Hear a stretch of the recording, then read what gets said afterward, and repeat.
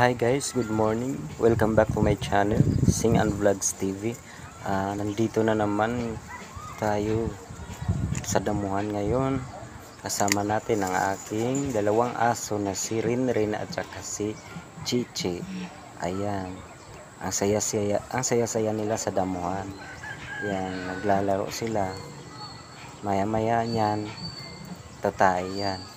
Ayan, oh. Ini siya. Ah, si si Chichi umihi na. Ayan oh, si Renren. Ayan. Ang sarap sa pakiramdam guys pagka may alaga kang aso. Kasi nalilibang yung, yung sarili mo eh. Kasi ang saya-saya nila tingnan. Kaya lang, ingat-ingat lang po tayo sa mga gamit sa bahay dahil minsan nilangat-ngat nila yung mga kagaya ng charger, kaya tayo na lang po ang mag-ingat sa mga gamit natin. I-ano lang natin, lagay lang natin sa ah, lugar kung saan hindi nila kayang abutin. Kasi pagka nasa baba lang, pagka wala, pagka wala silang magawa, yun yung ngangat-ngatin nila. Ayan, patakbo-takbo na sila. Umpisa na yung pag paglalaro nila. Ayan, ang saya-saya nila. Ayan, oh. Ayan, takbo siya. Takbo si si Chichi tapos si Renren pabalik pabalik siya hanggang yan oh. Kunwari napilay siya oh. Nagdadrama siya. Kunwari pilay na siya oh. Pero maya maya babangon at tatakbo. Ang kulit talaga niya oh. Yan na siya oh. Yan oh. nagtatago yung isa tapos biglang susulpot yun.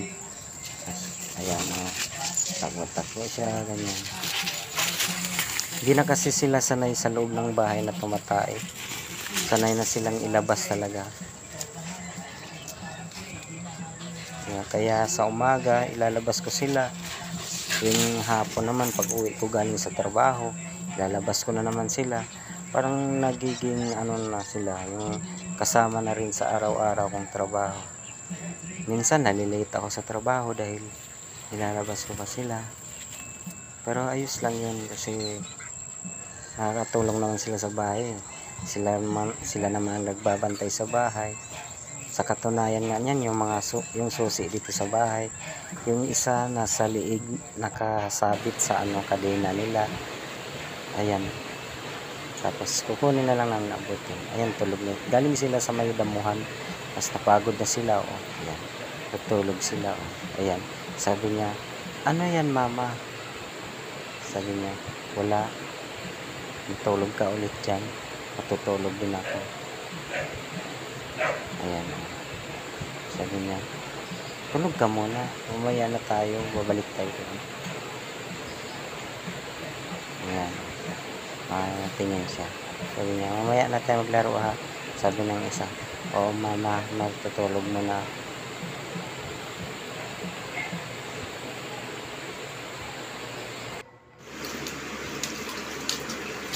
Ayan na naman si Rinren oh pagising niya yun na naman yung ginawa niya. Nagsasayang ng tubig. Ayan pinaglalaroan niya yung tubig. Ayan. Oh tingnan niyo siya oh ganyan siya kakulit. Oh, tinitingnan niya sa labas kung may tao ba. Ayan.